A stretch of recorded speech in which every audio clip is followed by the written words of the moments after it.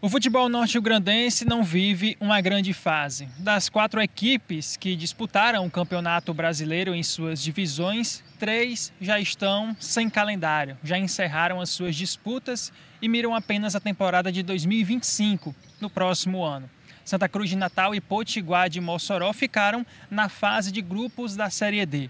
Enquanto isso, o América, que tinha como grande objetivo subir de divisão, voltar para a Série C, ficou cedo pelo caminho. Foi eliminado pelo Retrô, clube de Pernambuco, recém-criado há poucos anos, e acabou eliminado do Brasileirão Série D, ficando pelo caminho e adiando por mais um ano esse objetivo que é voltar à Série C do Campeonato Brasileiro. Com isso, o América de Natal, que é uma SAF, que tem até um certo investimento, mas que montou um elenco bem desnivelado, fica pelo caminho e encerra sua temporada muito cedo, ainda no começo de agosto.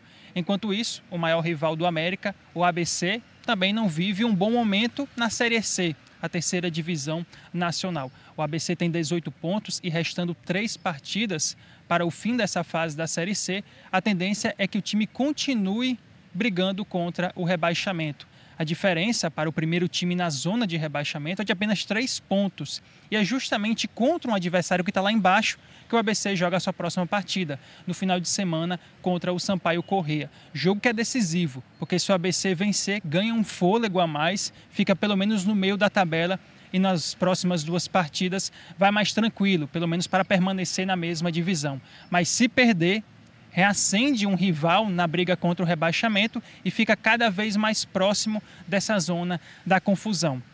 Isso mostra a disparidade que está o futebol do Rio Grande do Norte em comparação aos outros estados do Nordeste. Enquanto Ceará, Pernambuco, Paraíba têm times protagonistas, o RN vive uma fase muito ruim. Isso impacta não só nos resultados dentro do campeonato estadual, como vimos em 2024, mas também nos campeonatos nacionais, como que está acontecendo agora, com Potiguar de Mossoró numa campanha muito ruim, com Santa Cruz de Natal eliminado na fase de grupos e o América de Natal caindo muito cedo, nem chegando às fases decisivas de mata-mata da Série D. Enquanto isso, o ABC tem pela frente mais três jogos. E o que a torcida ABCdista quer é ficar pelo menos na Série C.